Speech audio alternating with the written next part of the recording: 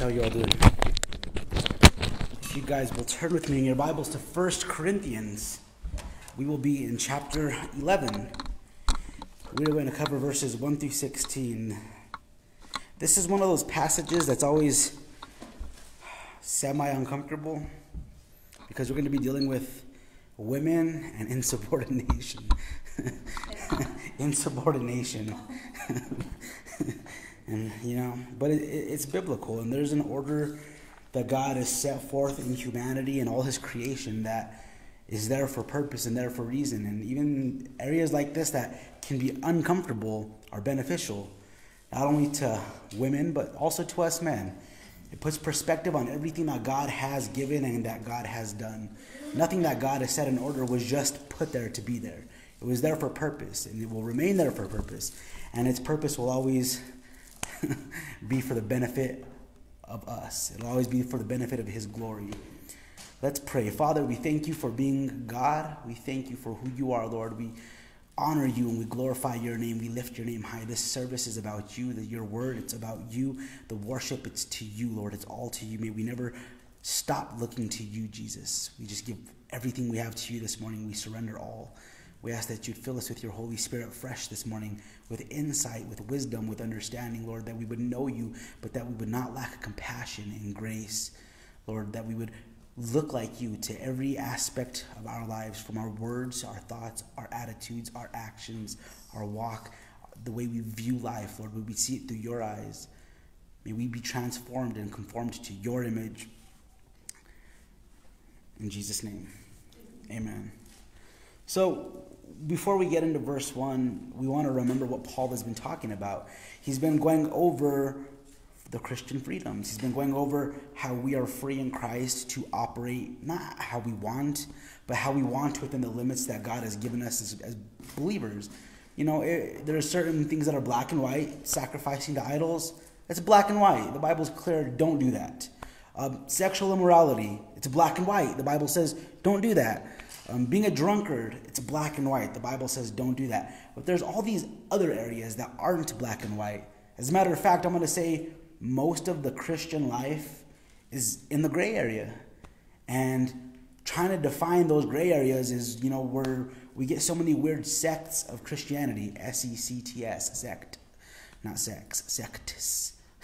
and you know, but that's where we get so many weird sects from, is because these gray areas are gray, and we want to do the honorable thing with the Lord. We always want to do the what's honorable.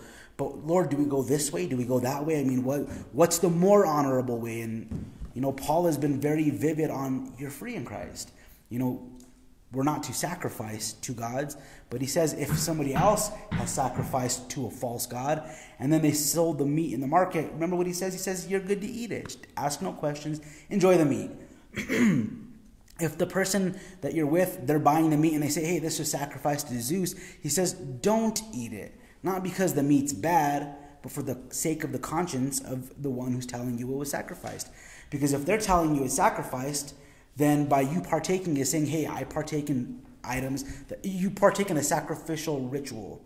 And Paul says, don't do that for the conscience of them, for their weak minds, so that they don't fall into the hindrance of worshiping false idols again. That's Paul's case this whole time. For like the last two chapters, he's been on and on about that and going on about the liberty in the Christian.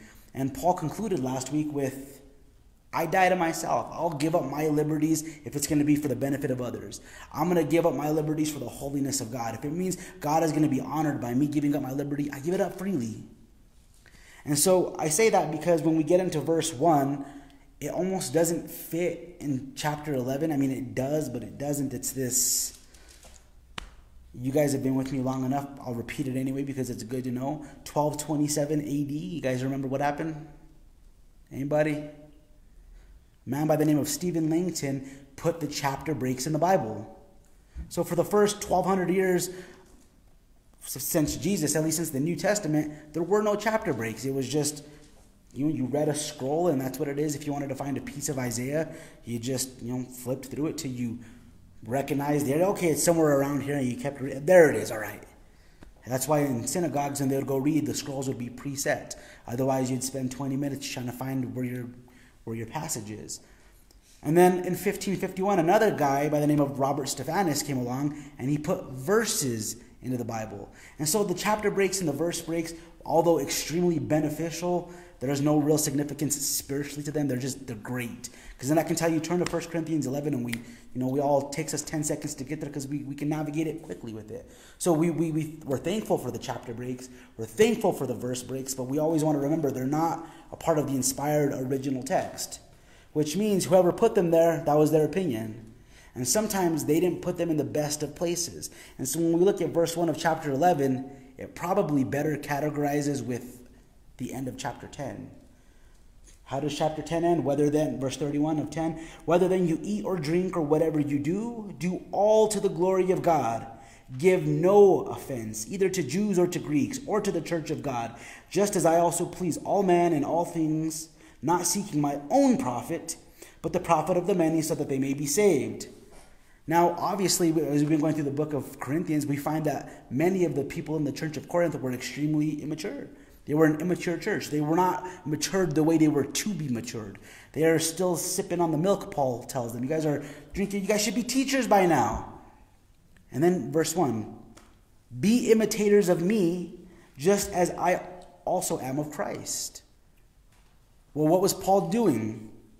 Paul just got through saying, whether then you eat or drink, do whatever you do, do it all to the glory of God, give no offense either to the Jews, Greeks, or the church of God, just as I also please all men in all things, not seeking my own profit, but the profit of the many, so that they may be saved.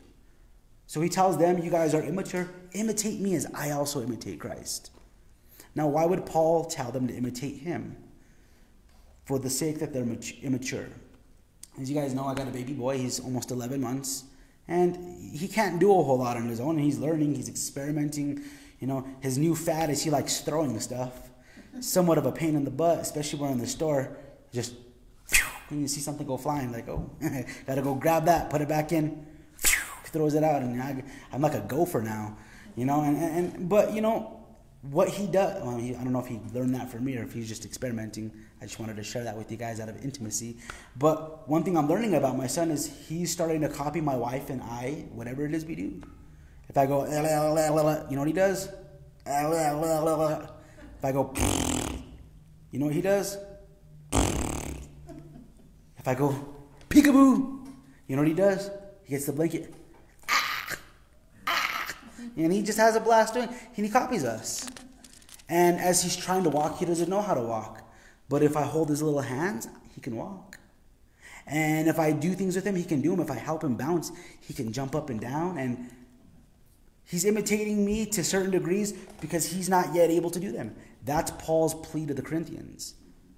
Imitate me as I imitate Christ. Not because Paul was something worthy to be imitated, it's because the Corinthians couldn't walk yet. They were immature. They were just a bunch of little dirty diaper children. And that's where they're at. And there is a real, I don't want to say need for people imitating godly men as they imitate Christ. The goal is never to imitate somebody else. It's never the goal. The goal is always to imitate Christ. Your goal in life isn't to follow me, but it's to follow Christ. You guys are to have your own walk with the Lord. My son, he's going to imitate my walk with Jesus until he's old enough to understand it on his own. That's just what it's going to be. It's how it is. If you guys have ever raised kids, you know, they follow mom and dad and they raise their hands if they raise their hands and they get they take their little Bible because mom and dad have their Bible. But they get to a place in their own walk where they have to come to grounds with who God is, where they have to come to this realization that Jesus is the Lord of Lords and the King of Kings. I am a sinner. And I need to be forgiven of my sin. So they have to come to their own walk. Till that time comes, they're dependent on our walk. They're dependent on our words and our actions and reactions, and everything we do reverberates into their life and through their life. Everything, whether you like it or not, good or bad. Again, the Corinthians, the immaturity that they had, they weren't able to walk the way a Christian ought to have walked. So he leaves them with this Imitate me, be imitators of me, just as I also am of Christ. Now, this word imitate is a cool word. I liked it, so I'm going to tell you what it is. It's the Greek word mimetes. Now, there should be a word in there that sounds familiar M I M E T E S. Mime. It's where the word mime comes. We get our word mime from. In the ancient world, a mime in ancient Greece and Rome, mimes would mimic people. That's what they would do. They were mimics. And they did they, they mimicked people as a form of entertainment. Yes, they would also they're quiet and they do the whole box thing. But that was the way one of the ways they entertain people. They'd mimic you. They would follow your movements and then mimic you and it was an annoyance to you, but it was funny to everybody else. He says, Mimic me as I mimic Christ. Now, if you happen to be online watching or somebody here, you know, I don't know all of your walks. I know we all look very mature on the outside, but some of us on the inside struggle. And if you need help and you need to mimic somebody to get back on path, make sure you choose somebody who has a walk. Don't ever choose somebody based on a gift. That's not a good reason. Well, they're just really good teachers. Yeah, there's good teachers don't mean good walks, but they're great worship leaders. Yeah just because you got the gift doesn't mean you have the maturity. I've, I've seen some phenomenal worship leaders. I mean, the best I've ever seen, and their walks were horrible. I mean, almost questionable as a Christian. Aside, aside from the grace of God, I would have to say I don't even know if they're a believer. But I'll promise you that when they this person would sing, it was like nothing I've ever heard in my life. The anointing that this person had was beyond anything I've ever heard. I've heard Hillsong live, brought, put Hillsong to shame. I've heard Lauren Daigle, Mercy Me. I've heard all the big names. And I mean, when this person would worship, it was something different. And when the Spirit of God would just crush you in the, in the most beautiful way. But this person's walk was just trash, unfortunately. I don't know where this person is at today. Lord willing, they're serving God the way they ought to be with such a gift they should be. But we never want to rely on a gift to imitate somebody. We want to rely on something like maturity. When we talk about discipleship, because discipleship is necessary in the body, it's the same concept. You want to make sure you're being discipled by somebody who has a walk, who is grounded, not just knowledgeable, but somebody that lives the walk. You want to know why most kids go astray in the faith? Not always, but most. Is because of hypocrisy in the home. We hear the teaching, we see the teaching. Well, we don't see it. We hear the teaching, we hear the teaching, we hear the teaching, but then we see other things taking place. If you go talk to most kids on campuses, hypocrisy in the home or in the church is why people walk away from Christ. Hypocrisy. Make sure that you put yourself under somebody who's not a hypocrite somebody who's not saying one thing and living another. Make sure that the person that you choose to imitate, should you need help getting on track, is somebody with unquestionable character. Somebody that hands down is, I mean, a validated godly man or woman.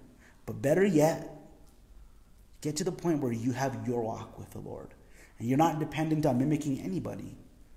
That's where you really want to be, where you and your walk with Jesus is all that is needed, nothing else. You don't need the pastor, you don't need the worship leader to help you walk with Jesus. You have that walk all on your own. What do you go to church for then? Because we still fellowship and you can still learn.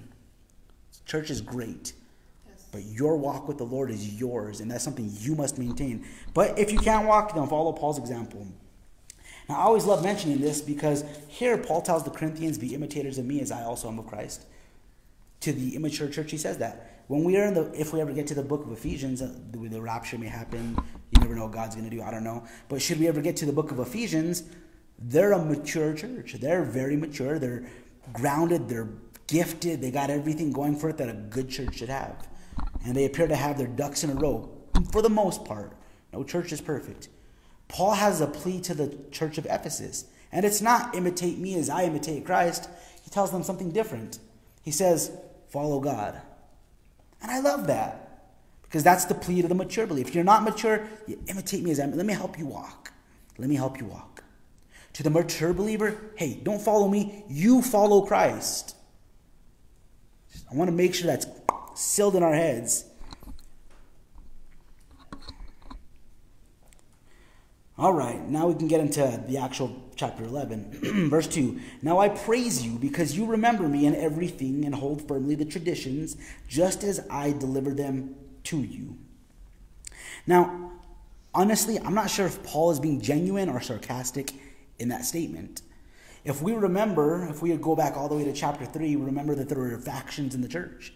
and that the Corinthians were divided. Some were of Paul, some were of Apollos, some were of Peter, some were of Jesus, and, uh, and there was this big rift in the church, and everybody was, you know, one against another. They weren't seeing eye to eye, and some didn't want to be loyal to Paul. As we saw, actually, many were against Paul. They didn't really care for Paul.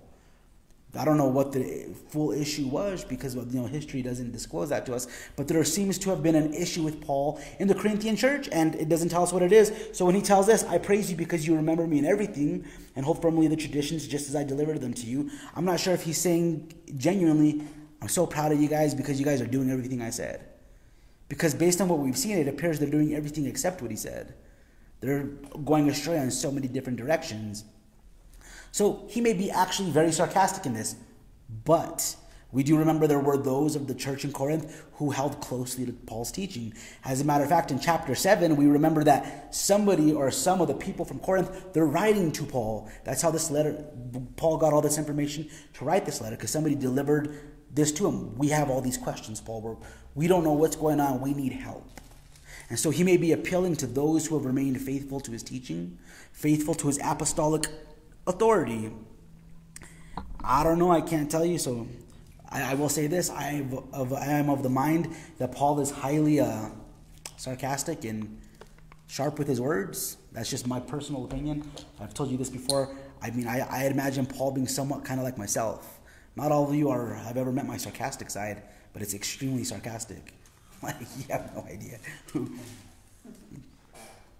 I hold back so much now, but it's very sarcastic, but that's what it is.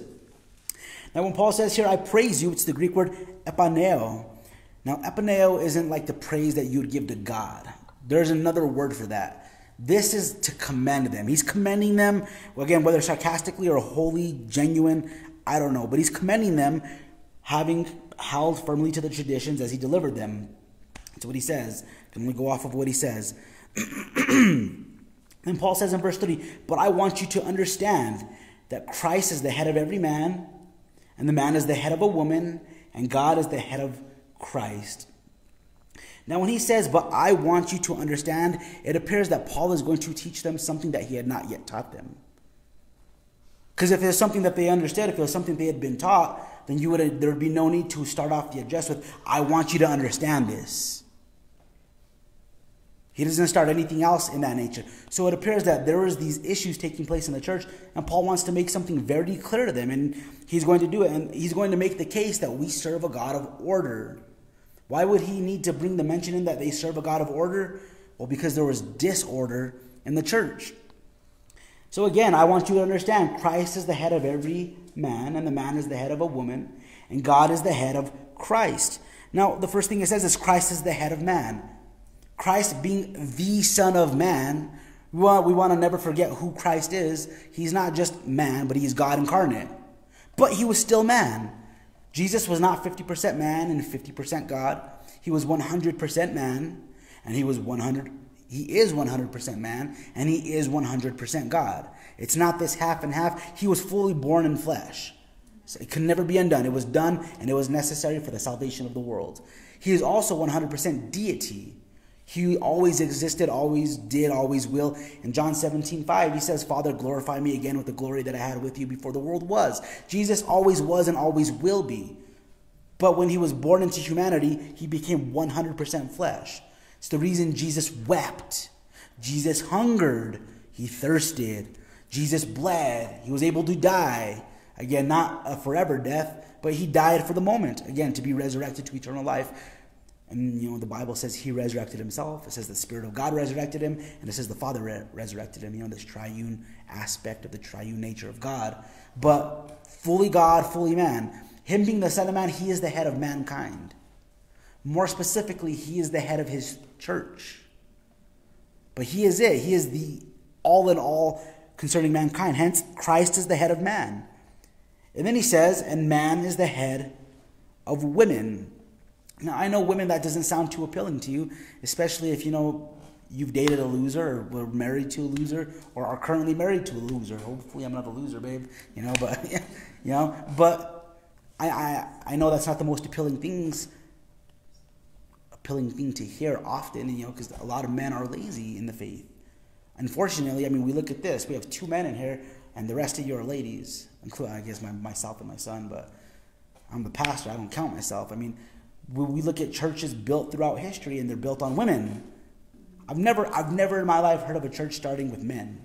Just, just I've never, even biblically, in, in the early days of Paul, the women gathered around the riverbank, and that's where they held church services. Because in Paul's day, to, to hold a synagogue or something of that nature, because remember, I can't remember where Paul was, but the Jews were gathering together to learn, and the women wanted to know about Christ, and there wasn't enough men to be considered a synagogue, so they held it by the riverbank. Women, it's always been women. At the cross, women. At the tomb, women. The resurrection, women. The women, I mean, you guys are like the backbone of Christianity. You are that rib that was taken out of man, or that side piece that holds man together, you know, because women are the backbone to the faith. Um, not unfortunately, but it's unfortunate that men don't. So I know when we hear things like women are the men, men are the head of women, it's not this appealing thing like, yeah. I mean, how, how many women in here don't want a man to lead them? How many women in here don't want a husband who's going to take charge and be the man of the household that God called them to be? Or, you know, if you were married, you felt that way at one point. Every woman does. It's innately within them. Women want to be led. That's it's innately within you. Men, we want to lead. We're just lazy. for, for lack of better words, men are lazy. We don't want to lead. We want to, but we don't want to. It's just, I would love to lead, but then I got to work. Women, Unfortunately, we are your head, which doesn't have to be a bad thing, but, you know. And then he says, and God is the head of Christ. Now, when he says God is the head of Christ, we definitely want to make sure that we understand something here. He's not disequating Christ's deity with the Father. What he's doing is he's setting forth an example. That example is not an inferiority to the Father, it's an order that was put in play. When Jesus was on this earth, when he was in his ministry, when he would teach, anything he did, one thing he made clear and certain is he was here to do the will of his Father. Him and his Father had a will in unison. Everything that he hears from the Father, he does. Everything he hears from the Father, he says. And you know, I may be taking a little bit of liberties in what I'm saying, but you, you get the point. Jesus made it clear that his will was to do the will of his Father which should be the appropriate response if they truly are one and the same. If they are one in essence, then their will should coincide. Everything that the Father wants, Jesus should want. That's how that works. Now, if there was disunity, then there would be a clash of wills.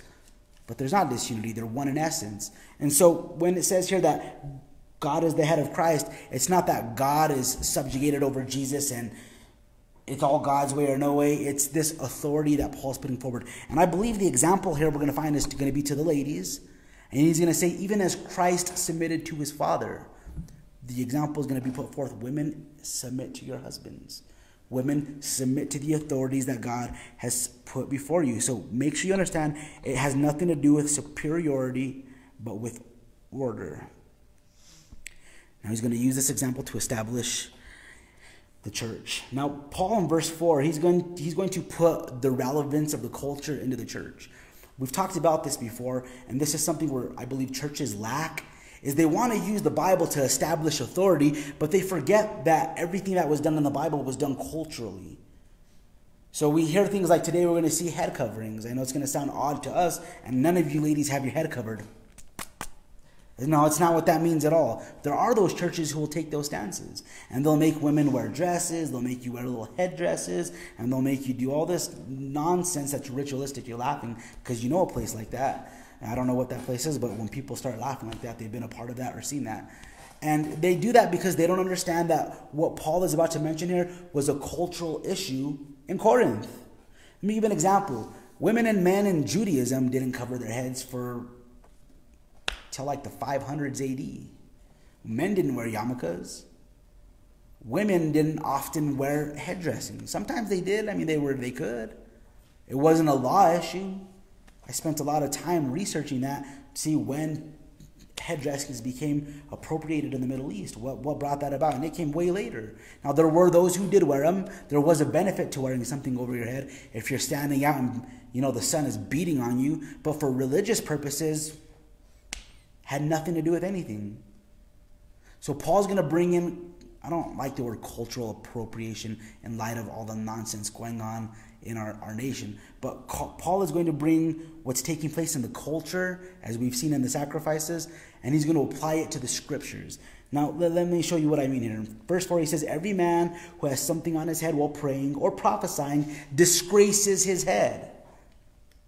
Now, that's not biblical. You're not going to find that in the law of Moses. You're not going to find that in the Tanakh anywhere. It's, it has nothing to do with anything. So, why would Paul mention that? Because in the Greek culture, in the Corinthian lifestyle, for a man to approach God with a head covering was a disgrace. It wasn't a good thing. It was considered this, this unnatural thing. It was disgraceful. And a man, being the glory of man, was to approach the deity openly. And then look what he says here in verse 5. But every woman who has her head uncovered while praying or prophesying disgraces her head, for she is one and the same as the woman whose head is shaved. Again, that all just sounds like a bunch of nonsense, but we're going to learn culturally, culturally the importance of what Paul is saying. So the woman he's saying is to have her head covered because the woman was not to approach a deity with a, with a, a head uncovered. Now, why, you might ask? First, let's understand the culture of the Roman Empire right away. What was taking place in the Roman Empire, and we've talked about this about two months ago, is there was a feminist movement in the Roman Empire. It was actually really similar to the American feminist movement today. Women were tired of being the house bodies, they were tired of being slaves to their husband, so to speak. They were tired of raising the family while the husband went out to work. They were tired of being treated somewhat second class. And women started revolting, they started rebelling. And one of the ways women would rebel is they would uncover their head. And in the Corinthian culture, that was a disgrace. Again, it's not a Jewish thing, but we see this same thing take place in places like Turkey. That's why, you know, or, or in the Islam, that's why the women wear the, what do they call the, um, can't think of it for the life of me, the burqa. That's why when we're it's a disgrace to allow your hair to be seen by another man, especially after marriage. And it's considered more a, a sexual thing. And so to be proper, you had your head covered when you prophesied or prayed. Now, I don't know if they had to wear head coverings throughout society like the Muslims do, but for sure when they approached God, it was a sign of humility and respect. And it was a disgrace for a woman to approach and pray or prophesy culturally with her head uncovered. More so, these women that were in this feminist movement, they left their husbands. Many of them would leave their husbands. They would leave their children, and they'd go off into the workforce. And they would, often as a sign of rebellion, shave their head. They, they wanted to look like a man, and they wanted to have the responsibility of a man. They wanted to be considered equal with men. Now, when these women would do things such as this, it often would result in homosexuality which we shouldn't be shocked because we see that in our culture today. These women, they go off, they shave, they forsake, they leave their husbands, leave their kids, go do something crazy like shave their head and end up with another chick. And my wife and I were actually talking about this this morning. The oddest thing when women do that is they always end up with a girl that acts like a guy. It's, it's, it's the stupidest thing I've ever seen in my life. You go off to be a lesbian, but you date a chick that acts and looks like a dude. You had an actual genuine man. What was the problem? you know, like that you want to date a girl who, who's trying to act and look like a dude. It's the false, it's the fake thing, and you have the real thing. Right. It's like you know you you can eat a real apple or you go eat the plastic apple off the table. Well, the plastic apple looks shinier, but it's fake. What's wrong with you? But that's what was happening in the Roman Empire. Now, one of the issues with the shaved head culturally, again, it often resulted, this type of lifestyle and attitude resulted in lesbianism or, or homosexuality. More so, a shaved head in this culture was representative of a prostitution. That's what prostitutes did. They shaved their head. That's one of the ways they identified as a prostitute. So Paul is looking at what's going on in the church, and he's hearing what's going on in these women in their freedom in Christ, and they're free to uncover their heads. It's not that approaching the Lord in prayer like ladies, it's not that you praying or prophesying with, with your head uncovered is this evil thing. It's in that culture the way it was viewed. It's the same concept as the sacrifices. Is the sacrifice anything? Anybody?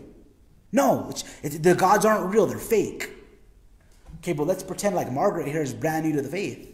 She doesn't know anything about Jesus. She's hearing what she's hearing and she's liking it. But then we got Trish here who has her head uncovered and she starts praying. Margaret doesn't know anything about the freedom of Christ, but she does know the Corinthian culture. And that she knows that it's a disgrace for that. And so she sees Trish doing this, and all she thinks is, well, this, this isn't good. What's wrong with this church? How could they act like this? And then let's say, let's say uh, Lisa, my mother-in-law, walks in with her head shaved. Margaret's even She's a prostitute. She's a prostitute serving Jesus. That's all she understands. That's what she understands and knows. So she starts freaking out. Now she wants nothing to do with this because we're more messed up than the world. We claim to be the way and we're over here all messed up. We've forsaken basic values of the Corinthian culture. Not that, that a shaved head is anything or an uncovered head is anything, but to them it was something. It's like this Would it be proper for me to walk around all day and all night without my wedding ring on? Would it be improper? Well, what's the more what's more proper? To have it on or to have it off? Why? What's the, it's just a ring. Who cares about it's just it's just a ring. My attitude is way more important, right? And that would be true. But what's the significance of this ring? To let others know I'm it's to bear witness to the covenant that I made to my wife before God. So in our culture, we wear these, and to not wear your wedding ring is considered disrespectful. It's considered a sign of disgrace. I mean, you're being disgraceful to your wife or your spouse at that point. That's our culture. They don't, I mean, if, if they heard us in our rings, they'd think we're stupid. We think they're stupid with their head. This is what, what same concept to them. This is a big deal to our culture. When I see people without their wedding rings and they tell me they're married, I'm like, well, where's your ring, bro? How do you signify to the world, how do you signify to another lady not to hit on you? How do you, I mean, it doesn't mean that they can't or they won't, but it's you doing your part to show the world that I've made a covenant with my spouse. Concept is the same. For them, the head covering was a sign of honor when you prayed or prophesied. And to have your head uncovered was dishonorable. More so, to have your head shaved was a sign of prostitution. So, for a woman in the church to have her head shaved was to identify with the prostitute. Let's think of it like this How would you guys say if somebody came in here, they got saved, and they came out of prostitution, right? And for the next two years, they're just growing and they light on fire for Christ. They stop prostituting. No more prostitution for them. But every week they walk in with a skirt so high you can see their butt cheeks, and a shirt so low you can see their cleavage. What would you guys say to that? Would you guys have issues with that? I would have an issue with that. Head shaved. Same concept. That was how they identified with the prostitute. Does that make sense to you guys? So Paul's telling them there's a really big issue here. And not that your freedom in Christ is void or invalid, but you want to act and appropriate yourself in such a way that your testimony isn't diminished. Hence, Paul, that whole last chapter, he's talking like, well, bro, if it's going to be an issue eating meat, and if my testimony is going to be dwindled away and it's going to be a hindrance for me to give the gospel out, I won't eat meat. I will be what you need me to be so that the gospel of Christ may further, so that the, there's no hindrance to anybody coming to the Lord. This was a hindrance to people coming to the Lord.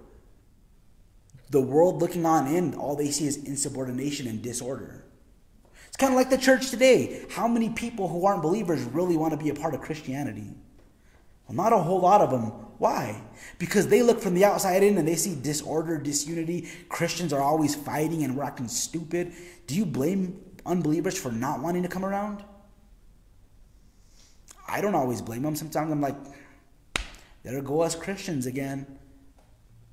And it's usually just a handful of select Christians that are acting foolish. But they, they always end up representing the whole body.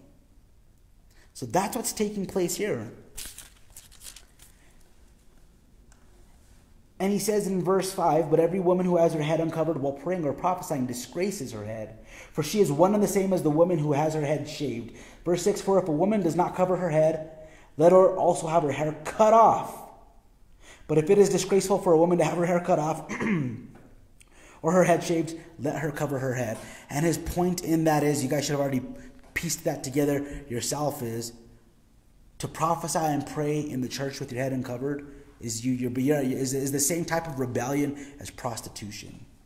If we remember in 1 Samuel 15, God speaking to Paul, and he tells them that uh, that disobedience is the same as witchcraft or re- rebellion is the same as witchcraft. You guys remember that? That's one of those more, you know, potent verses that when you hear that is like, whoa. Rebellion is as the sin of divination or witchcraft. That's nuts. That means to rebel is like witchcraft. Paul takes it a step further and says to rebel is to be a prostitute. In this sense, to do what you're doing is no different than being a prostitute out there. And that's Paul's case here. So he says it's better to have your head covered. Verse 7 For a man ought not to have his head covered, since he is the image and glory of God, but the woman is the glory of man. So he says the man is not to have his head covered. So Paul is going to bring in a theological aspect in this. He says the man ought not to be to have his head covered since he is the image and glory of God. Now, when we remember man being created in Genesis 1 and in Genesis 2, it gives a retelling of the account from a more intimate stance. God gives Adam sovereignty over creation. He says, It's all yours, man. Have a blast. Tend the garden. Tells us he brings the animals forth and he names, it, has Adam name them, and all this is done before woman is ever created. So I believe when Paul says here that for, for he is the image and the glory of God, that's his reference point. As a matter of fact, I want to turn to Genesis chapter 2 quickly. Genesis 2, if you don't know where Genesis is, it's the very first book of your Bible. chapter 2 should be the, like in the first pages. But Genesis chapter 2. Go to verses 18, and just because it's a good passage, I'm going to read to the end of the chapter. It's, it's not much. But in Genesis 2, verse 18, he says, Then Yahweh God said, It is not good for the man to be alone. I will make him a helper, suitable for him. Out of the ground, Yahweh God formed every beast of the field, every bird of the sky, and brought them to the man to see what he would call them. And whatever the man called a living creature, that was its name. So the man gave names to all the cattle, and to the birds of the sky, and to every beast of the field. But for Adam there was not found a helper suitable for him. So Yahweh God caused a deep sleep to fall upon the man, and he slept. Then he took one of his ribs and closed up the flesh at the place at that place. Yahweh God fashioned into a woman the rib which he had taken from the man and brought her to the man. The man said, This is now bone of my bones and flesh of my flesh, and she, be, she shall be called woman because she was taken out of man. For this reason, a man shall leave his father and mother and be joined to his wife, and they shall become one flesh. And the man and his wife were both naked and were not ashamed. So it appears, not it appears, Adam was alive for, it doesn't tell us how long before Eve was brought forth. And so when he says that man was made in the image of God and the glory of God, I believe that's his reference point. When man was created, he was created directly in the image of God. When God created Eve, she was taken out of man, to, and she was made for man. Adam was made for God woman was made for man. Now, not diminishing any woman's, you know, I don't want to use the word authority. I'm, I'm what's the word I'm looking for? Um, value. You guys are every bit as intrinsic, intrinsically valuable as a man is. You guys are viewed by God no different than we are. You are loved by God no less than we are. You are mankind just like we are. But in the initial creation account, Adam was created for God woman was created for man, and both were to come together as one flesh to be for God. Does that make sense? Hopefully that makes sense. And I know that can be a little bit of a spin in the mind, but that's what it is. And it almost sounds diminishing, but it's not. It's beautiful and it's glorious. And it is, it is the order in which God created. And I'm sure there's a feminist possibly watching this out there saying, I can't believe he just said that. That makes us women less. No, that's just a foolish woman speaking that says that. Not understanding that God creates with order and purpose. It never says woman was created less than man. As a matter of fact, it says, when it says, yeah, God took of a rib, the actual Hebrew word is just God took from his side. And I love what Matthew Henry says.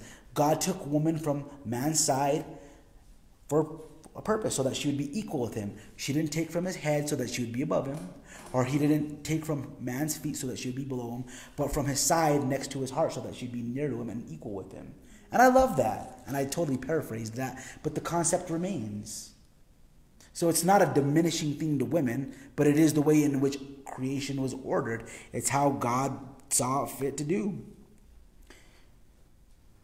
So he says, He is the image and glory of God, but woman is the glory of man. Verse 8 For man does not originate from woman, but woman from man. For indeed, man was not created for the woman's sake, but woman for the man's sake. Therefore, the woman ought to have a symbol of authority on her head because of the angels. Now, this is going to be interesting because the whole angels thing is. But first, let's get to the point that he made. You know, we've already covered man was created for God, woman was created for man, and there's this authority and this order that takes place. And he says, because of that order, the woman ought to have a symbol of authority. What were the women doing at this point? They were rebelling. They were acting in insubordination. They were rebelling against the authority of the male. Why is that an issue? Because of God's creational order. There, there, there must always be order. In our culture, that's not the way order with when men and women are. I, honestly, I'm not sure exactly how our culture works in that area because I just, I'm going to be honest, I don't really know. America is so whitewashed and watered down. It's, I'm sure 50, 60 years ago, it was a much more vivid distinction. And today, I guess we're so far gone in the feminist movement that that order is almost impossible to see. But one of the ways women submit to the order of their husband is they submit, you know, the, I'm going to say the way my wife submits to me. She trusts that God is going to lead her through me. She trusts that the decisions that God puts on my heart are the decisions that God is making for our family. She trusts that I am in the Word of God and I am in prayer and that my walk with God is where it should be so that God would lead our family. And even in times of disagreement, she trusts that God is leading me to lead our family. Now, I know like in the world. I don't know how that looks for the world's sake, but in the Christian realm here in America, that's what order would look like. Now, for somebody like Trish, you're not married, or Margaret, you're not married. Well, what does order look like for you? Because it appears that it's more than just a husbandly order, but it's an order of male over female. So, an example I am your pastor. I don't have to be your pastor. I'm your pastor because you guys have chosen to come here. And me being your pastor, there is an authority that I have in the Word of God that you ought to submit to. Now, one thing I want to make clear and a distinction with pastors don't have the authority to tell you how to live. I can't tell you go, you know, if you're go join, join Jehovah's Witness, they'll make you throw away your TV. That's not a pastor's job. Um, some pastors want to play God in your life. That's not my job to play God in your life. It's my job to be a spiritual authority. And you do well and you're wise to submit to that authority if you've placed yourself under it. Now, in the Christian church, you're not bound to your pastor. You're welcome to go put yourself under another pastor. But when you put yourself under an authority, operate under that authority and trust that God is going to work in that authority through your life. So let me give you an example. If I told you, Trish, you need to sell your truck and go buy something else, that's not my place. I would discard that. I have no authority to tell you what to do with your possessions. Now, Trish, if I see you messing up spiritually and I address you spiritually, that is an authority that you do well to listen to because God has given me that authority in your life because you are here. Does that make sense? So when he tells the women here, therefore, women ought to have a symbol of authority, that's what that would look like for us today. Now, you guys are all, after service, you're welcome to give me any other opinions you have because I'm open to them because I'm sure there's things that you guys see with these concepts that I probably don't. But what I do want to touch here is when he says that they should have a symbol of authority on her head because of the angels. Now, there's a lot of commentary on this and there's a lot of opinion on this. And not everybody exactly agrees and nobody knows exactly what this means because when Paul said this, it appeared it was just I don't know what he was talking about. He, did, he didn't explain himself. I don't know if there was something that he taught in one of his visits to the church of Corinth about angels that you know we don't have because he just kind of throws that out there and then it's just there and so i'm going to tell you what i think it means what i believe it means. In light of the context of rebellion and insubordination if we remember there was a rebellion that took place amongst the angels. And a third of the angels rebelled against god and in order i don't know if he's even in, an attempt to overthrow god. I don't I, I mean when you're going to battle god i don't think you get a chance to get that far to even make much of a game plan because he's God. But nonetheless, they rebelled against God and they were cast out of heaven. They were cast, you know, out of the presence of God, or you get the point.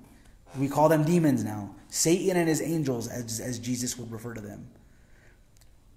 In light of the insubordination and the rebellion taking place in the Corinthian church, he mentions these angels. And I believe the point that he's making is if God did not spare his angels who rebelled against him, should we be so foolish so as to oppose him and suppose that he will not spare us in our rebellion. So let me give you, let me give you an example. A rebellious heart is not evidence of a believer. Now, it doesn't mean that a believer can't be rebellious. Uh, honestly, that's going to be something between God and that believer. I don't know. But I will say this that a rebellious believer is a contradiction. We're not called to be rebellious, we're called to be obedient.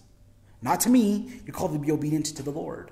And so when we start acting in, in, in, a means of disobedience and rebellion, when we start rebelling against authority, when we start rebelling in such a way that it becomes a hindrance to the gospel of Christ, we have to ask ourselves the question if God didn't spare the angels, would God spare you or me?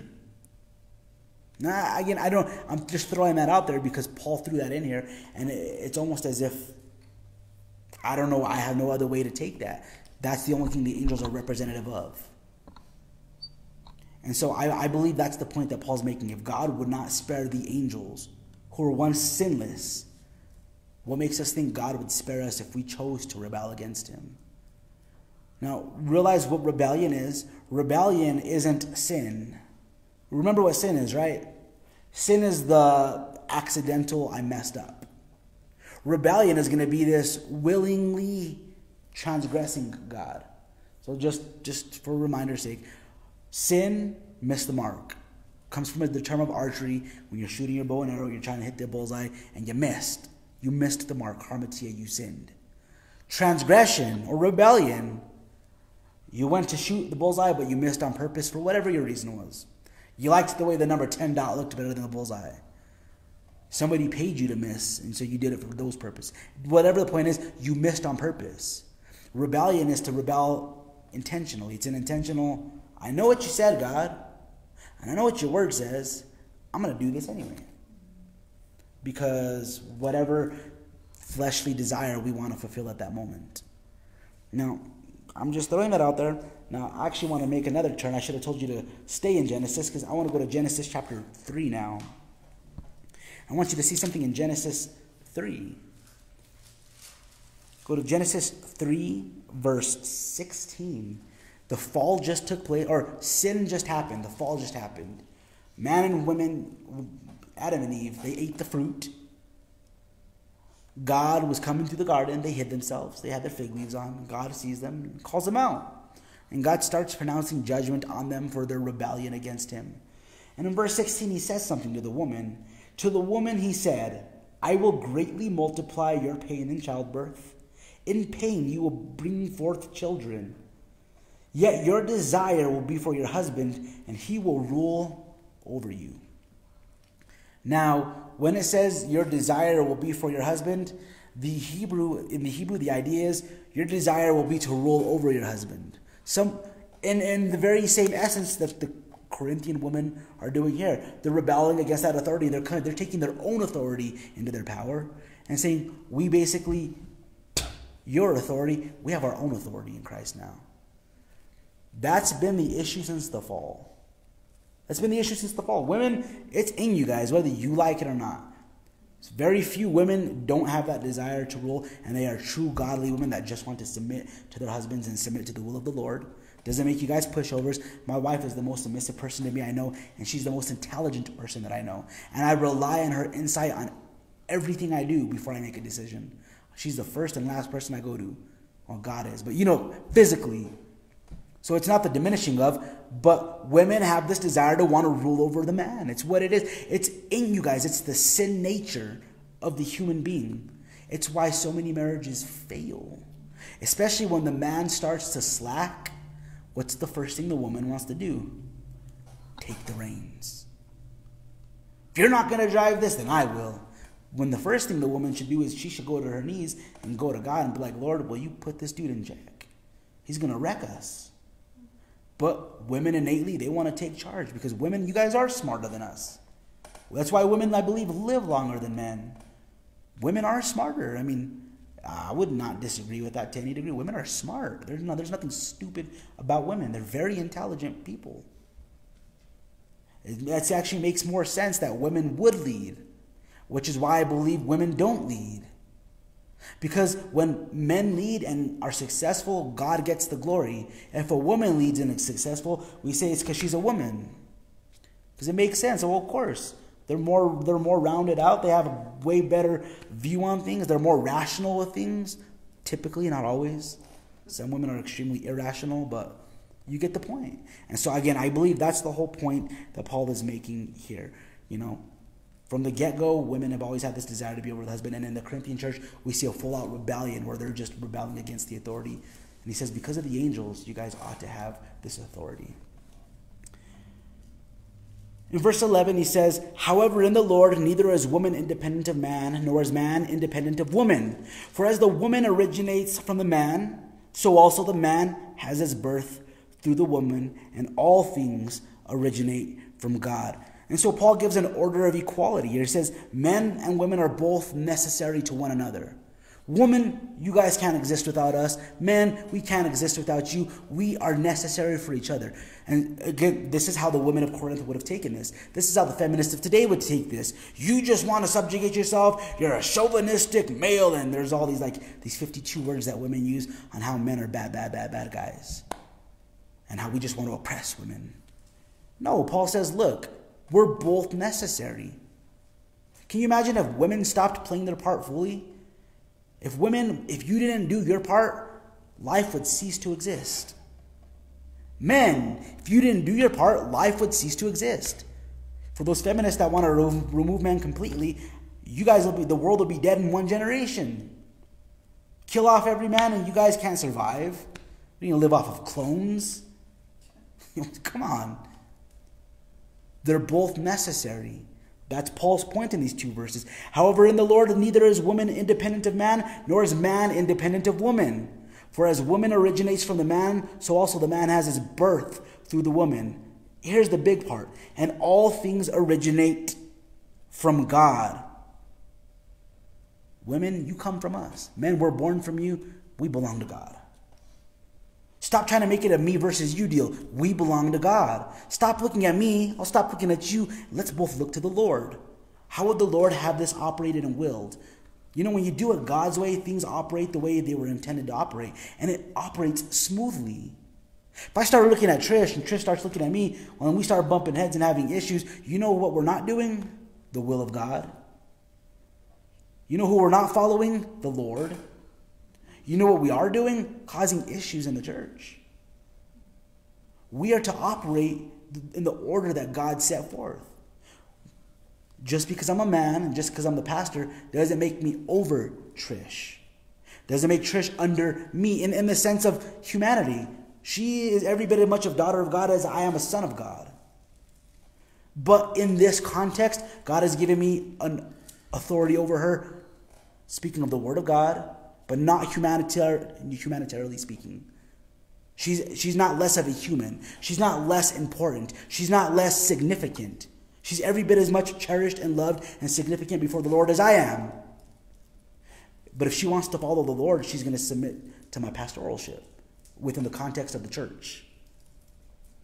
And if I want to be in right with God, I'm going to treat her as a daughter of the king, and I'm not going to overlook her and do anything to harm her.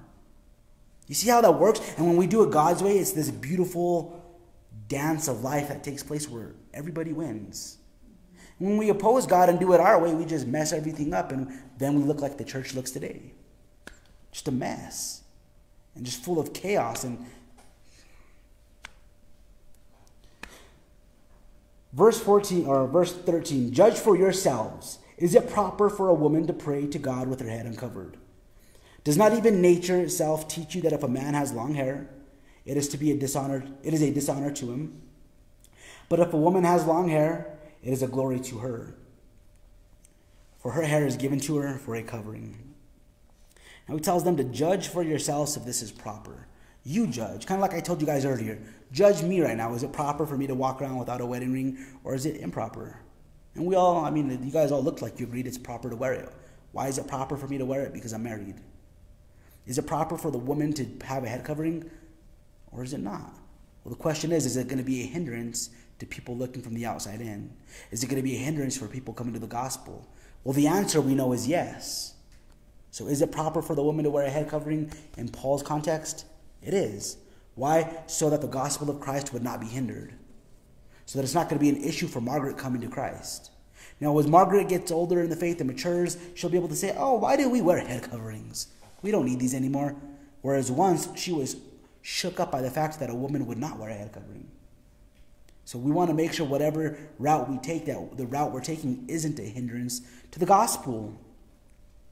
It says, Does not even nature itself teach you that if a man has long hair, it is a dishonor to him? But if a woman has long hair, it is a glory to her, for her hair is given to her for a covering. Now, when he says it's the nature, it's the innate nature within the human being. Let me give you an example. There's three dudes in here. Your hair's a little long, but it's, it's really not that long, comparatively speaking. Naturally, men gravitate towards shorter hair. Throughout history, men have gravitated towards shorter hair. Doesn't mean that men haven't had long hair. But the natural course of a man is we don't want long hair. I, even me, I'll grow my hair out every so often, and one day you guys are going to see me with long hair, and then I'm to get frustrated and chop it off because it's to annoy me. Because the natural inclination in man is we, it's the nature is to have short hair. I know we all have this idea that Jews in Jesus' day had long hair. That's not true. The priests were required to have certain lengths of hair, but the, the average Jew did not have long hair. Jesus very possibly didn't have long hair. Maybe hair kind of like my father in law's, maybe shorter like ours. But keep in mind, like shoulder length hair is not considered long. This is probably properly what many Jews did have. I mean, my hair's combed, their hair would look all not quite as nice as mine, but. And it was the natural innateness within women to want to have long hair. Long hair on women is beautiful. Long hair on guys is grungy. You know, it's true. Like my wife, she likes her short hair, but I love her long hair. It's beautiful. I love my wife's hair long. I don't care for her hair being short. She still looks beautiful, but when her hair is long, it's just like it's gorgeous. It's I love it. And women, most of you guys like your long hair too. That's why you guys have long hair. Nobody makes you have long hair. Look, Grace cut her hair kind of short. But naturally, women want to have long hair. It's an innate thing within you. Why? I don't know. That's Paul's point. It's nature. So, so not only are you women rebelling against the authority, but in essence, he not that you ladies are rebelling against nature, but he's throwing this at them as kind of like just a kick in the butt, as a little, you know, you know, you kick somebody when they're down. Again, Paul is very Paul, we'll just leave it at that. And I believe this is his way of just on the ground and not spitting at them. That's kind of a mean thing to say. But again, it, does not nature even teach that if a man has long hair, it's a dishonor to him? But if a woman has long hair, it's a glory to her for her hair is given to her for a covering. Verse 16, but if one is inclined to be contentious, we have no other practice, nor have the churches of God. Now, this, this the way he leaves this off is there's nothing left to say. Basically, I've said what I've had to say. I've given you my reasonings for what I've said. If one continues to be contentious, if somebody still wants to stir the pot, if they still want to cause strife and issues, I have no other direction to point them. That's all. That's what he says. He says, "I have no other point to direct them in this matter." That's it. Again, verse sixteen. He says, "But if one is inclined to be contentious, we have no other practice, nor have the churches of God." And we're going to end there. But Paul's point remains true in the church today. If people remain to be contentious, there's only so far that myself as a pastor, there's only so much I can do. I suppose at some point you just ask somebody to leave if they're going to be a hindrance to the gospel. I'll tell you right now, if people come in and they're a hindrance to the teaching of God, they're going to be a hindrance to the gospel going out, they're going to be a hindrance to the faith, I will ask somebody to leave. Never had to do it. I hope I never have to do it. I will do it. Don't want to do it, but I will. As a matter of fact, this last week I had a very uncomfortable dealing because I'm a barber, and one of my clients decided that they wanted to uh, challenge me, I suppose. So I cut hair, and I cut only who I want to cut. That's just how I work. I, I don't let people come in unless I like you. And if I don't like you, I don't cut your hair. I'm at a place in my life where I can do that. And I'm well enough known in the barber world that I can do that. And I have enough people lining up to get haircuts that I don't need more people. As a matter of fact, that's what I had to tell this person is they came at me and they were super late for their appointment and I told them I might have to skip one of you guys and the wife went off the rails, and I said, hey, let me make sure you understand something. Don't ever threaten to leave because I'll kick you out, and you won't come back. I got four people that'll take your spot today. and they shut up and got real. And when people get contentious, sometimes you have to put the foot down. And as Paul would say here, if they continue to be contentious, we have nothing left to say on this matter. And if people want to continue to be insubordinate and they want to hindrance the gospel, then we will ask them to go. And if you want to come back, we'd love for you to come back. Don't be a hindrance to the gospel. Now, ladies, nobody in here is a hindrance to the gospel. I mean, you guys are all awesome, you know. I'd imagine that, you know, kicking somebody out of a fellowship would be one of the hardest things in the world to do. And I'm going to let you know if I ever had to do that, it would have to be a necessary thing. I would never want to put somebody out. The goal is always to see somebody mature, to see, see, see somebody restore. But one thing that we don't allow in the church is we don't allow contention. We don't allow strife. We're not going to allow divisions to take place in the name of Christ. If there is divisions, they happen. What we do is we reunite, we bring together, we restore. There's fights and contentions, they happen. I'm okay with them happening. They restore.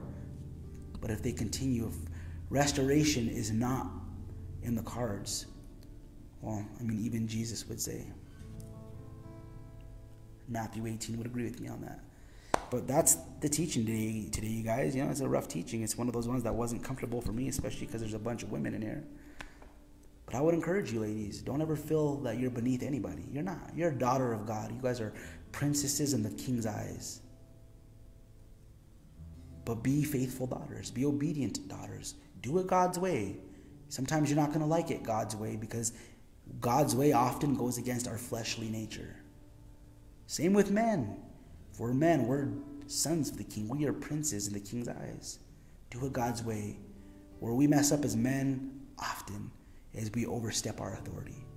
We want to be more assertive in our authority than God has given us. A, a true authority figure in Christ is not one who's assertive and who overpowers with a heavy hand, but it's one who is loving and gentle and kind and leads and guides and corrects and edifies and builds up. It's like Jesus. That's what he did. So, Father, we thank you for being God. We thank you that you are who you are, that you're loving, that you're kind, that you're good, Lord. Teach us men to be like you in this manner, Father, that we would be true authority figures in your name, that we would lead by example, that we would lead with your authority of peace, with your authority of love, and at times with your authority, Lord, to discipline.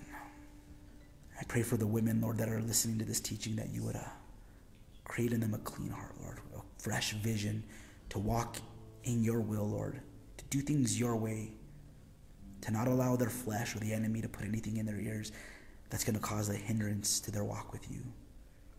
I pray for each of us that we would die to ourselves, Lord, that right now we would just put ourselves to death and that we would allow you to be the life in us, that we would walk your will, your way. Be with us this week as we go forward, Lord. Hold our hand, Lord. In Jesus' name. Amen.